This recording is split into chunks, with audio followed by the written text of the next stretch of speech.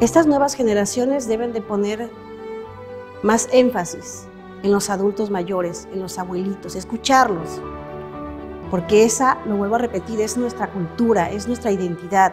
Si no tenemos identidad, no sabemos hacia dónde vamos, no sabemos lo que queremos y no sabemos apreciar lo que nos dicen ellos.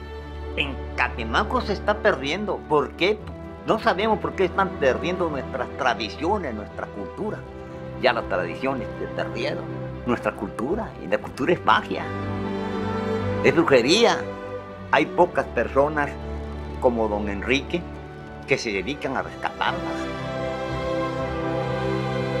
Por eso es importante para mí el buscar eh, en los adultos que tienen conocimientos, buscar respuestas a lo que a lo que no he encontrado una solución y hoy me he dado nuevamente a la tarea de rescatar esas tradiciones que para mí son importantísimas. Todo aquel que pueda rescatar tradiciones, todo aquel que pueda traer una enseñanza de esas personas grandes, pues los alabo y, y que sigan en ese camino para rescatar todo lo que se estaba perdiendo.